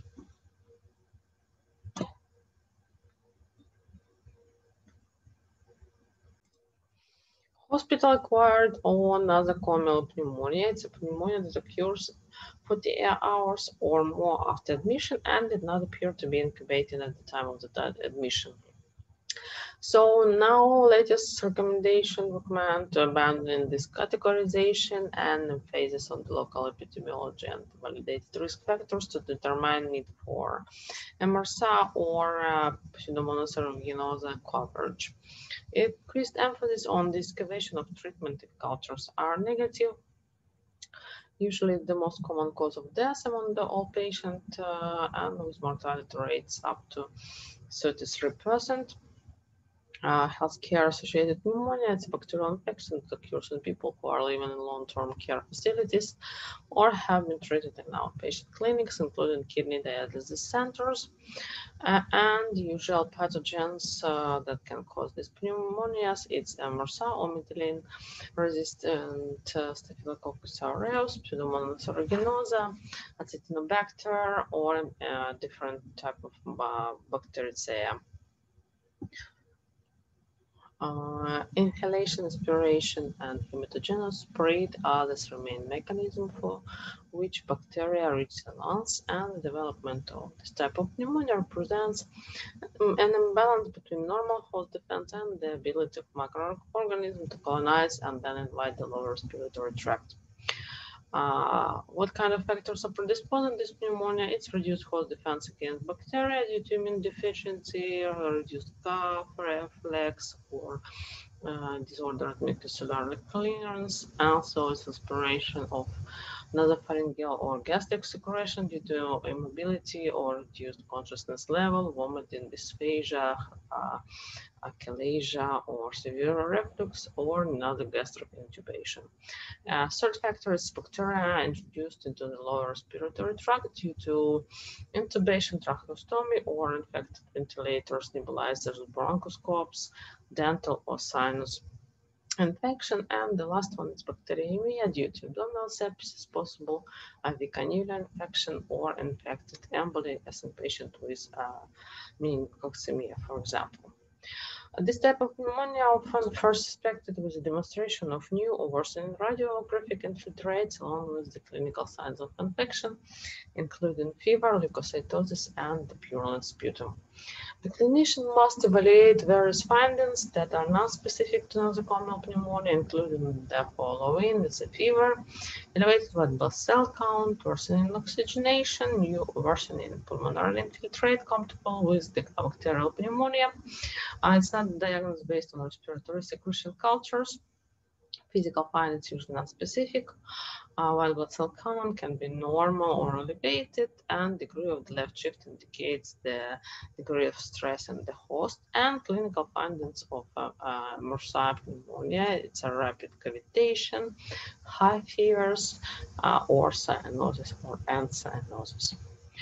How to treat? Traditionally, uh, have been treated for 7 to 14 days. However, ventilator-associated pneumonia can be successfully treated in 7 days. Uh, last recommendation recommend to treat uh, uh until the patient will show the signs of improvement uh, direct empiric coverage against the most common nosocomial pathogens uh, needed and coverage against Pseudomonas aeruginosa also covers other nosocomial pneumonia uh, pathogens. So if uh, suspected pathogen uh, is, uh, for example, Clostridium pneumonia Klebsiella pneumonia, it's beta-lactam, uh, treatment uh, with combination without uh, anti-pseudomonal fluoroquinolones if a potential pathogen is Streptococcus pneumoniae step treatment or levofloxacin treatment. If Legionella pneumonia is suspected, it's aminoglycoside plus vancomycin to cover Pseudomonas aeruginosa. Ventilator-associated pneumonia is a type of uh, pneumonia that develops more than 48 to 72 hours uh, after endotracheal intubation in hospitalized patients. Uh, we have specific uh, pulmonary infection score uh, to measure severity of ventilator-associated pneumonia. uh, after calculation, score more than six at baseline or at 72 hours, considered suggestive as pneumonia. Uh, if less than six, six uh, after 72 hours, patient probably doesn't have pneumonia, antibiotics probably can be stopped. The score include uh, ranges of temperature, blood, blood leukocyte level, tracheal secretion, and um, pathogenetic uh, bacterial culture, presence of growth or not, and uh, radiograph findings. So the similar story calculation of the poison then give the uh, opportunity to predispose to suggest patient has pneumonia or not. The major factor in selection of agents that are uh, in presence of the risk factors uh, so patient without risk factors for uh, pathogens uh, can be treated with uh, ceftriaxone or moxifloxacin or ampicillin, sulbactam or ertapenem. If patient has some pathogen risk uh, uh, presence, patient should be treated with a combination of beta-lactam and the second agent, agent sorry, active against gram-negative bacterial pathogens or agent uh, active with uh, gram-positive bacterial pathogens as linezolid or vancomycin. Uh, multi-drug resistant bacteria requires uh, more uh, complex treatment than other ones. Uh, the standard recommendation, for a patient with the risk factor of multi-drug resistant infection is uh, the prescription of three antibacterial drugs, two of them directed against uh, Pseudomonas aeruginosa and one of them uh, directed against methicillin uh, resistance, the Staphylococcus aureus infection. In immunocompromised patient, usually uh, uh, have such clinical uh, features as fever, cough, or breathlessness, but are influenced by the degree of immunosuppression. Symptoms are less specific and is more profoundly in uh, the most more profoundly immunosuppressed patients. The speed of onset tends to be less rapid in patients with opportunistic organism. Uh, symptoms, for example, of cough or breathlessness can be present for several days or weeks before the onset of systemic symptoms or the appearance of X-ray abnormalities. Uh, in patients with defective phagocytic function, uh, uh, who usually what kind of what kind of patient they are. It's usually acute leukemia, cytotoxic drugs, or granulocytosis, uh, which cause uh, immunocompromisation. The uh, the most possible uh, cause of the um, uh, pneumonia is a gram-positive bacteria, including Staphylococcus aureus. If patient uh, has defects of cell-mediated um, immunity, for example, patient with lymphoma, thymic aphasia, plasia, sorry, uh, the most common cause of pneumonia in this case is viruses or fungal infection and patient with detection of antibody production, defects of antibody production. It's a patient with multiple myeloma, chronic lymphocytic leukemia. The most common cause of uh, pneumonia in this case is Haemophilus influenza or Mycoplasma pneumonia. Uh, on CT, pneumocystis carinii pneumonia, the most frequent uh, pneumonia in patient with uh, HIV infection, and uh, in this case, CT is useful for differentiating the likely cause of focal unilateral airspace opacification favors bacterial pneumonia, mycobacteria, or nocardia. Bilateral opacification favors uh, pneumocystis jirovecii, pneumonia, fungi, viruses, or unusual bacteria. Cavitation may be seen in uh, asteroids, mycobacteria, or fungi as a cause of pneumonia. The presence of halo may suggest aspergillus, and pleural effusion suggests pyogenic bacterial infection and uh, are common for pneumocystis jirovecii pneumonia. The diagnosis is made by the lung biopsy and the demonstration of typical cyst of Pneumocystis carinii and impression smear of lung tissue stained with vitamin C. Complication of pneumonia includes appearance of abscesses, empyema, parapneumonic effusion uh, due to retention of the sputum causing lobar collapse, uh, deep vein thrombosis and pulmonary embolism, pneumothorax, particularly with Staphylococcus aureus uh, pneumonias, suppurative pneumonia and lung abscesses, especially Staphylococcus aureus, Streptococcus, uh, acute respiratory distress uh, syndrome, renal failure, multi-organ failure, ectopic abscess formation, hepatitis, pericarditis, myocarditis, meningoencephalitis, uh, pyrexia due to drug hypersensitivity. Abscess appearance uh, will be represented by the symptoms such as cough with the large amount of the sputum, sometimes fetid and blood stain, pleural uh, pain common, a sudden expectoration of copious amounts of the full sputum and of the abscess ruptures into bronchus, uh, high remittent pyrexia uh, with profound systemic upset, uh, digital clubbing may develop quickly up to 14 days. Consolidation of chest examination, signs of cavitation, pleural rub is common. Rapid deterioration in general health with marked weight loss uh, if uh, not adequately treated. Amphoric breath sound during auscultation if bronchus is connected with abscess. Our uh, treatment is recommended uh, with usage of regimens such as clindamycin uh, or IV administered beta-lactam combination formed once the patient condition is stable by oral IV administered amoxicillin clavulanate. Acute respiratory distress syndrome is characterized by an increase uh, in permeability by alveolar capillary barrier, leading to influx of fluid into alveoli. The alveolar capillary barrier is formed by the, microvascular uh, endothelium and the epithelial lining of the alveoli. Uh, hence, a variety of insults result in damage either to the vascular endothelium or to alveolar epithelium uh, could result in acute respiratory syn syndrome, distress syndrome. The main site of uh, injury may be focused on either the vascular epithelium or the alveolar epithelium. Uh, for example, in case of aspirational gastric content.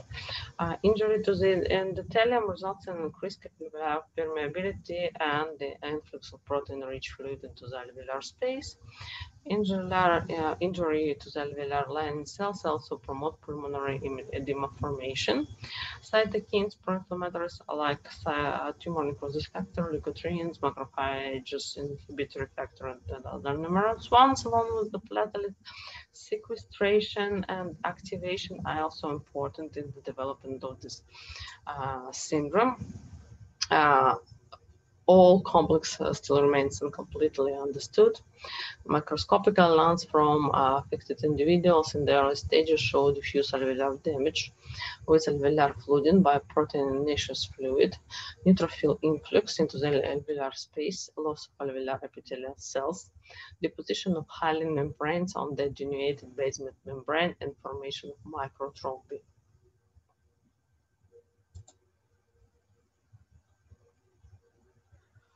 Uh, we do have uh, the Berlin definition of acute respiratory uh, distress syndrome, which include that for patient with uh, respiratory distress syndrome within a week of non-clinical assault or new or worsening respiratory symptom, it appears.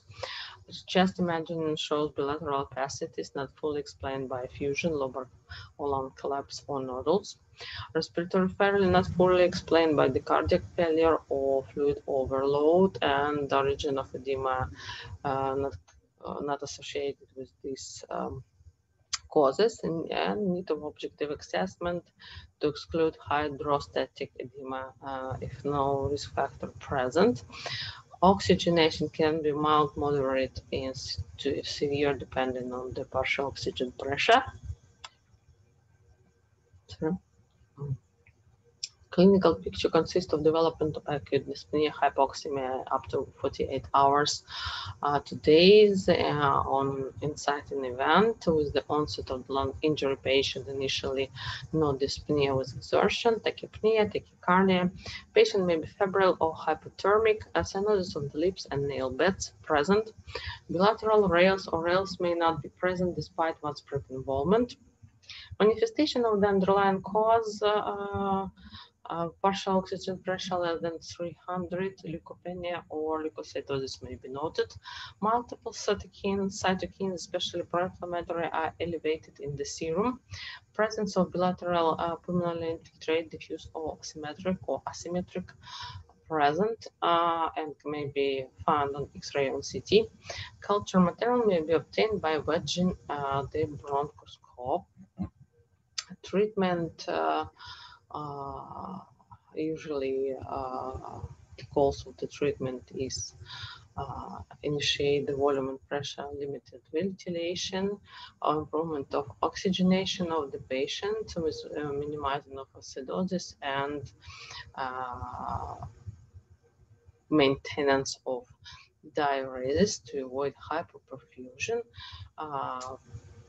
Hemodynamic management consists of fluids vasopressors with selective pulmonary vasodilators to improve uh, circulation inside of the lungs, surfactant replacement therapy to improve uh, perfusion, anti-inflammatory strategies consist of uh, corticosteroids, alipoxynase, its cyclooxygenase inhibitors, lisofylline or pentoxifylline, and presence of antioxidants and uh, anticoagulants uh, to improve not only uh, um, blood circulation but uh, also perfusion in affected areas.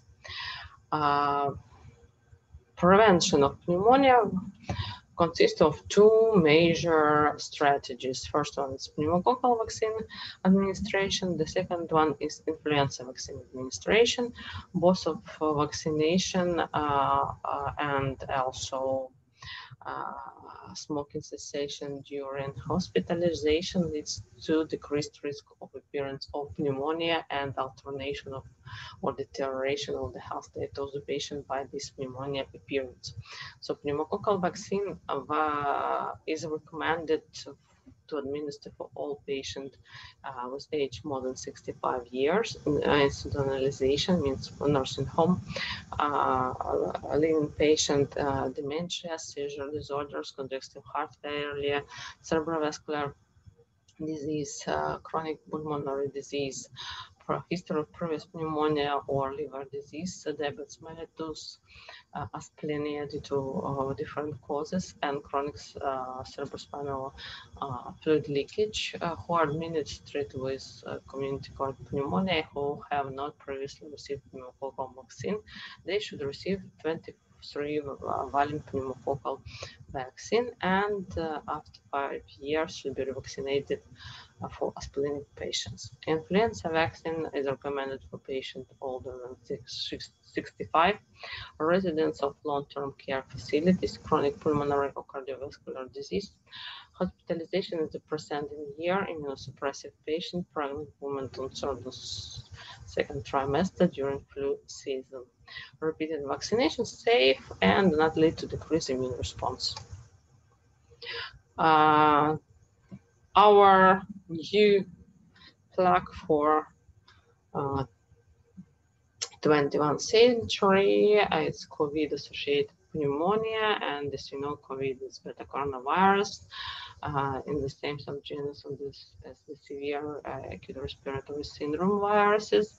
And the structure of the receptor binding gene region is very similar to SARS coronaviruses, and the virus have been shown to use the same receptor, uh, it's angiotensin converting enzyme, uh, to enter the cell, and there are widespread of these receptors, especially in, in, in the pulmonary tree and also in uh, GI system. Uh, so, uh, in the incubation period uh, of classic type uh, estimated as up to 24 days. Usually it's uh, seven days incubation. Uh, frequently reported uh, signs and symptoms of patient admitted to the hospital include fever, dry cough, myalgia or fatigue, shortness of the breath at the illness onset, uh, severe cases up to 15 percent in, ICU, 5 percent. Uh, adult on the middle age and older and older are most commonly affected. Right now with uh, British stem uh, and South African stem, this uh, statistic a little bit changed. So right now, not only adult patients. Um, the most affected, but also the young one and children too. Uh, if previously asymptomatic infection in children appears to be uncommon, right now it's present and even severe cases eh, and on, on not, not, all of these patients uh, have severe uh, immune comor severe comorbidities or immune compromised. Uh, symptomatic infection have also been described. Uh, frequency is unknown, uh, but it's frequent, especially uh, the great transmitters are children. Mild illness, usually it's a patient with uncomplicated upper respiratory tract viral infection with no, they may have no symptom at all, or at least non-specific. Uh, they can have non-specific symptoms. Uh, moderate uh, infection represents by pneumonia, uh, mild to moderate, uh, and no need for supplemental oxygen.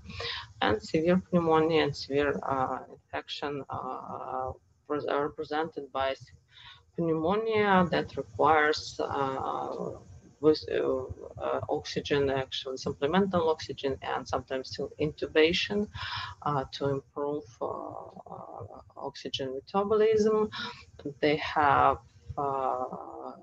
cough and signs of respiratory infection with the signs of, of uh, instability respiratory rate modern surgery, uh, severe respiratory distress, and poor uh, partial oxygen uh, pressure less than 93 in the room air.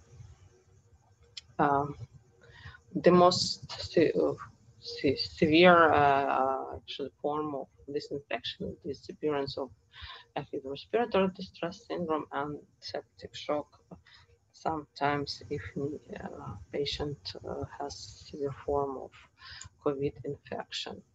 Clinically, uh, also represented by leukopenia or leukocytosis with lymphopenia, uh, was reported, uh, eliminated aminotransferase levels described. Uh, patient with pneumonia may have normal procalcitonin levels if there is no secondary bacterial infection yet and only viral infection present, but um, in patients especially who requires intensive care unit treatment, uh, levels are high due to secondary bacterial infection.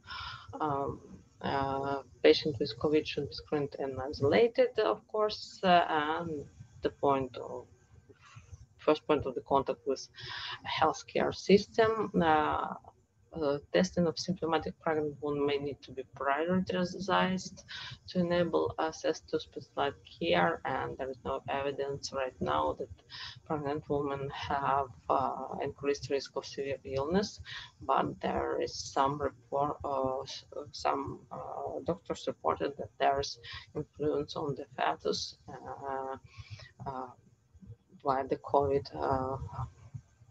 disorder. Uh, collect uh, patients should be collected blood cultures for bacteria and cause of pneumonia or sepsis before antimicro uh, bio, antimicrobial therapy. Sorry, uh, and uh, if patient hospitalized with confirmed uh, COVID-19, it's usually PCR confirmation, so repeated urine and uh, blood samples should be collected to demonstrate viral clearance and frequency of specimen collection depend on the uh, local epidemic characteristic and resource. So for clinic hospital discharge in clinically recovered patient who have two negative tests at least 24 hours apart is recommended chest X-ray uh, usually uh, represented as uh, ground glass opacities. It's uh, interstitial pneumonia, so consolidation in case of bacterial secondary flora uh, will appear and crazy paving pattern. Uh, X-ray imagining it's it can be well, of course done, especially if patient has secondary viral pneumonia. If it's only interstitial pneumonia viral one, uh, with, without bacterial components. Sometimes X-ray, uh, by X-ray, it's hard to detect, but clinically, you can observe patients. So CT uh, is not recommended for patient with uh, actually mild disorder, but if you suspect pneumonia, especially severe one, your patient have high level of C-reactive protein, procalcitonin, uh, especially for high level of D-dimer is seen, uh, or ferritin, uh, which is the uh, acute phase uh, reactant too. So this chest CT can help you to make diagnosis of the pneumonia and assess the severity. Usually it's multiple lobes pneumonia, bilateral pneumonia, and this um, uh, areas of uh, affected lungs uh, situated peripherally, comparing with the bacterial pneumonias. also, it's long-term pneumonia, as you remember that pneumonia can last on uh, changes can last on X-ray till uh, 12 weeks. So this is the case. So there is no need to repeat CT, especially and X-ray. If your patient show clinical signs of improvement, there is no deterioration of the state. You see that uh, blood uh, and clinical parameters are improving uh, and symptoms are disappearing. Here is uh, an example of possible CT findings from A, which is initial start of pneumonia with small locuses and then deterioration of the patient's state uh, and poor uh, course of the disorder leads to appearance of the multiple uh, focuses of uh, uh, um, inflammation even with uh, appearance of um, pleurisy pleural effusion as a complication. Oh, sorry. CT should not be used to screen the patient or first line test uh, should be used sparingly and reserved for hospitalized symptomatic patient with specific clinical indication. Uh, facilities may consider deploying portable radiograph units, in ambulatory care facilities for use uh, when medically necessary, uh, and radiologists should familiarize themselves with CT appearance of COVID in order to be able to identify findings consistent with the, infection. Uh, so typically absent in COVID is pleural effusion, at least a big one, uh, which is usually sign of congestive heart failure or bacterial pneumonia. There is no large lymph nodes uh, seen uh, in uh, other pneumonias in mediastinum or or, uh, for example, in lymphomas, and there is no lung cavities uh, if there is no secondary bacterial infection, we talk about only isolated viral COVID-19 infection. So, as usual, thank you very, very much for your attention. If you will have any question, please please use my email to contact and I will respond you with pleasure. Thank you very much again and have a nice day. Bye bye.